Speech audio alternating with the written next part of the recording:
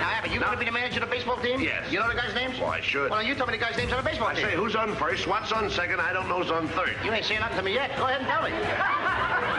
I'm telling you. You ain't said nothing yet. Go ahead and tell me. Who's on first? What's on second? I don't know is on third. You know the guys' names on the baseball team? Yes. Well, go ahead. Who's on first? Yes. I mean the guy's name. Who? The guy playing first. Who? The guy playing first base. Who? The guy on first base.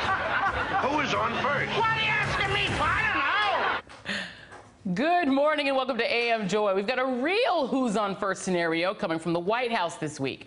It all started on Wednesday night when the Washington Post reported, based on anonymous sources, that special counsel Robert Mueller is seeking interviews with three senior intelligence officials National Intelligence Director Dan Coats, NSA Director Michael Rogers, and Rogers' former Deputy Director Richard Ledgett, suggesting that Mueller is now investigating whether Donald Trump obstructed justice.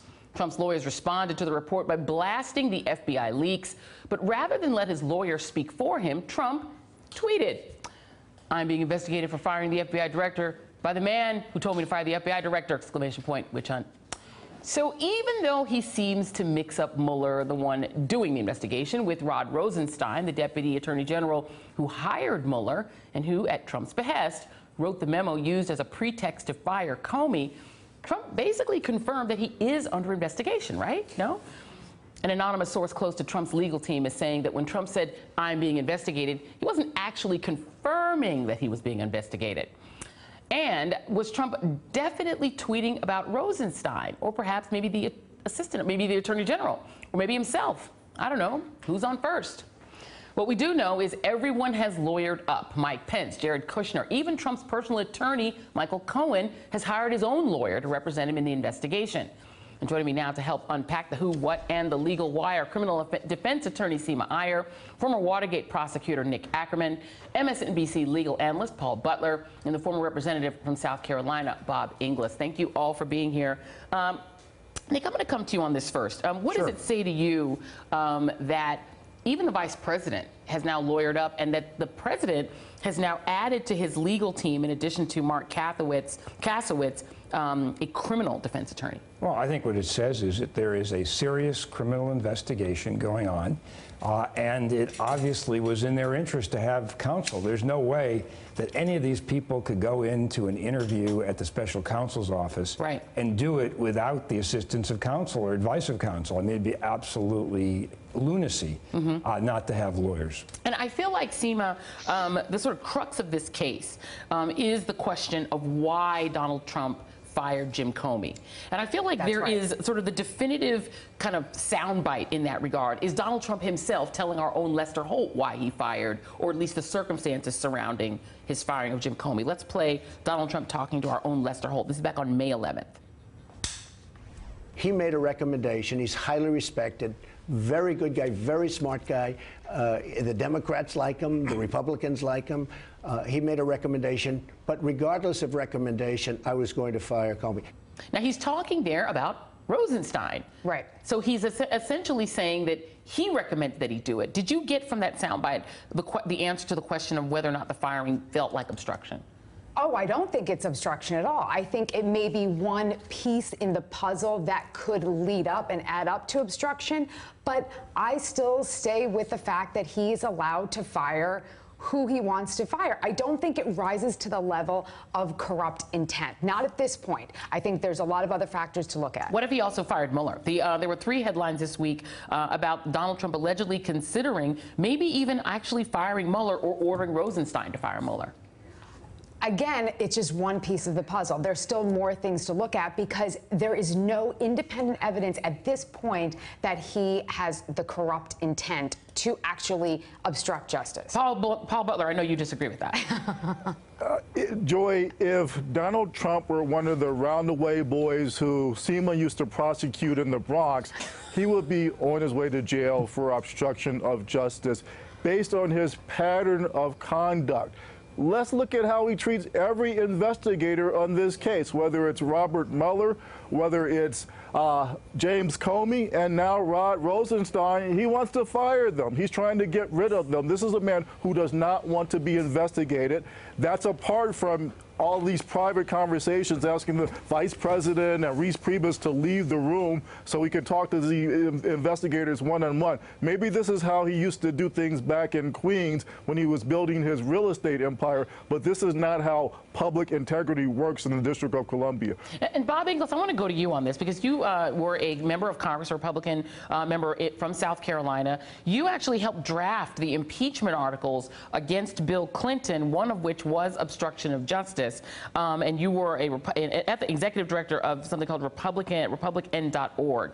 Um, so I want to ask you, apart from the legal question of whether or not this rises to the level of criminal obstruction of justice, when you compare this to what you guys did with Bill Clinton, do you think that this meets the political test of obstruction? Well, this is much more serious than what we were dealing with with Bill Clinton. You know, in the case of Bill Clinton, um, it was uh, lying under oath related to a matter involving Monica Lewinsky. Um, this, the, the substance of it, potentially involves Americans working with Russians to impact our elections. That is a much bigger deal. As James Comey said during his testimony, if any Americans participated in that, that's a really big thing. And so um, the difference here, though, is that, uh, of course, my party is in control of the House, and that's where im- impeachment must be considered. Um, and so the thing that's holding us back is fear of the 38% of Donald Trump's so- solid voters, uh, because those people can kill you in a Republican primary. So uh, the, the political challenge here is being able to seek the truth without uh, you know enemies to punish or friends to reward um, and have my party rise above party and serve the country it's really difficult when that 38% is out there ready to kill you in a republican primary Yeah, and, and Nick, you know, I feel like that is the big difference because you, you know, you obviously uh, were a prosecutor in the Watergate situation, where Republicans actually overcame that. I mean, the Democrats controlled the Congress at the time. Right, so but they bit of a didn't overcome situation. it until they actually had the smoking gun with the tapes. We actually had Nixon confirming everything that John Dean had testified to before the Senate Select Committee. Yeah. So it, it wasn't as though the Republicans came jumping on the bandwagon. They Yeah. took it seriously, as I think a lot of them are taking it seriously now. Mm-hmm. Uh, but the meeting, you know, Barry Goldwater and the party elders with Richard Nixon in August of 1973 only happened because of what was on those tapes. And let's talk about that smoking gun for a minute. I'm going to stay with you just for a moment on this, Nick, because you know I think a lot of people are trying to get to the material differences between in these three cases. In Nixon's case, he, he consented to the idea of trying to get the CIA to fire the special prosecutor. It was a, a sort of similar situation. Except here, and Trump has done it himself. He apparently went to the head of the National Security Agency and asked him to try and put a stop to the investigation. He went to the Director of Security, National Security, asked him to put a stop to it. I mean, really, you've got probably four acts of obstruction here.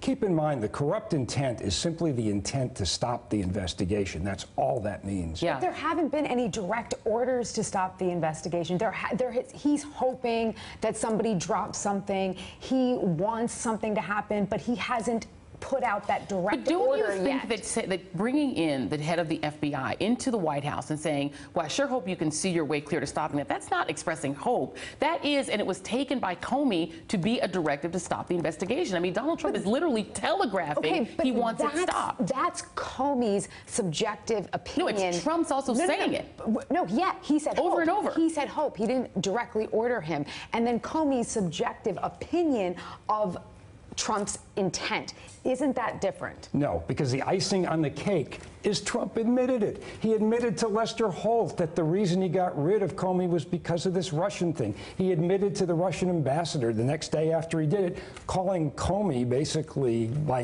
calling him a name, Yeah. and then saying, "Now I've got this Russian investigation off my back." That is corrupt intent. Yeah. This is a fantastic obstruction case. And, and Paul, I want to let you in on this too because we were prosecuting public corruption cases as opposed to like straight up criminal uh, Uh, c- cases of obstruction. I mean, the idea is that it is the politics is wrapped up in it. Donald Trump has said on his Twitter feed to the Russian ambassador. Apparently, to his aide screaming at the TV that he wants this investigation to end. When does the president's desire to not be investigated anymore cross over, in, in your mind, into a corrupt intent to stop himself being investigated?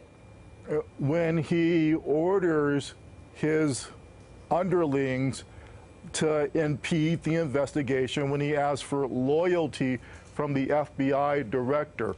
So, you know, when a politician is under criminal investigation, he has a lawyer who's an advocate for him, trying to keep him out of prison. At the same time, the politician, especially if it's the president of the United States, has to uphold the law. He has to enforce the law. So now we hear that Donald Trump's personal lawyer is running around the Oval Office ordering people to do this and do that. There's a real conflict between, again, the president's responsibility to the people versus his own desire to keep himself out of criminal uh, trouble. And so, Steve, I mean, you know, and, and you are alone on this. I'm going to let you have, have, have a word on it. Um, you have Marc Kasowitz now facing ethics complaints that have been filed uh, by CREW, um, the Citizens for Accountability uh, in office, um, essentially because he is telling White House officials not to get lawyers. Meanwhile, uh, the Washington Post is reporting not only, you know, obviously Pence is lawyering up, Right. et cetera, but that Kasowitz is telling some personnel that they don't need to have their own lawyers. He actually doesn't practice. He's not even in the bar there. So you do have a lot here. I mean, I'm wondering for you, at what point, who would Donald Trump have to fire for you to agree that he's trying to stop himself being investigated? Okay, first of all, let me just say that it's smart to get a lawyer even when you're a witness. I have been called as a witness to testify and I have sought legal counsel. Mm-hmm. So it's just smart. Just because you have a lawyer doesn't mean you're the subject. When that refers to Pence and everybody else, including Cohen. So But in your mind, who. What would oh, Trump have to do in your mind to show the intent to stop it, to stop the investigation? I think he, there would have to be more corroborating evidence of corrupt intent, like the Clinton situation. There was what the blue dress. There have been other situations where there. You need Nixon- DNA? it- Okay, let me, go, let me I let just- Bob Inglis in. We're, out, we're, out, we're, we're running out of time. evidence. Bob, for you as a political matter, because a lot of this gets into the question, and most of us are lay people, we're not attorneys, but for you, Bob Inglis, when does it meet the test of impeachable corrupt intent? For you, if you were in Congress right now, would you support those articles of impeachment that are floating around the House of Representatives? Well, uh, no, it's not, not time to draft articles of impeachment, but it is time to pursue this investigation with real vigor. And that's what I'm concerned about for my party is that really we should not be holding back here. We should be driving forward with an aggressive investigation to get to the bottom of this so that we can restore the confidence of the American people that we'll, we'll check into it. If there's a if there's a an allegation that the, the Russians, a foreign hostile power, interfered in our election, we'll check into everything about it. That will give people confidence in my party. As it is, my party is discrediting itself. It's basically saying that no, we should drop all these investigations about Trump and Russia. That's that's a real problem, and it's it's it's really it's it's responding to that 38 percent.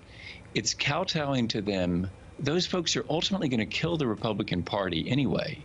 So it's time to face them and say, you know what? Let's go forward in this investigation. Let's find out. And let's also overcome this politics of grievance that we've developed. So it's not time to, to, to draft articles of, of impeachment, but it surely is time to get with this investigation and get behind it strongly. Yeah. Uh, thank you very much. I'm, I'm going to leave it right there. Seema Iyer, Nick Ackerman, Paul Butler, and I'm sure a lot of people are wishing not former Congressman Bob Inglis. Uh, thank you guys all for being here. Really appreciate it. All right, and coming up, Robert Mueller goes to Jared. That's next.